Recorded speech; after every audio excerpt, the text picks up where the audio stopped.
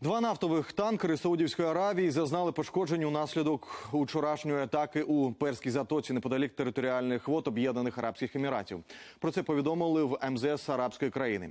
У Саудівській Аравії ці напади назвали серйозною загрозою для безпеки судноплавства. Там переконані, ті, хто здійснив цей акт саботажу, мав на меті похитнути надійність провідних постачальників нафти у світі.